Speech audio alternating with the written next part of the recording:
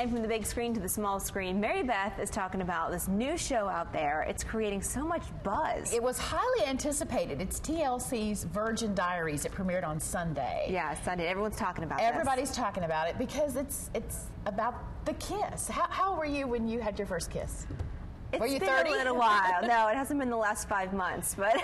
well, apparently the, the show here is premiering people who choose to wait. yeah, they're virgin, so their first kiss is on their wedding day, right? Right, and and I'm telling you what. Here Ellen, it is. Yes. Oh my Yikes! gosh. Oh my my gosh! it makes me cringe. Can you believe that? I mean, that's Bad. that's some chomping I action mean, going on it's right like there. two fish going at it.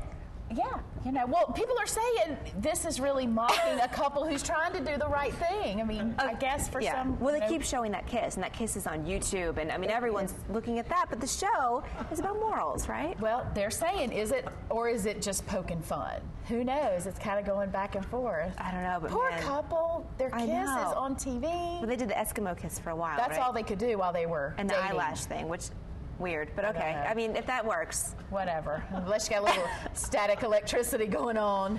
hopefully they'll work on that. All right, don't forget you become a friend of Mary Beth Oh, on Facebook. Search for WXII 12 Girl Talk. Oh yeah, I'm sorry, I'm still on the kiss. Um, don't forget, you can sign up for the WXII 12 Deal Center. You can get coupons to local businesses. It's all on WXII 12.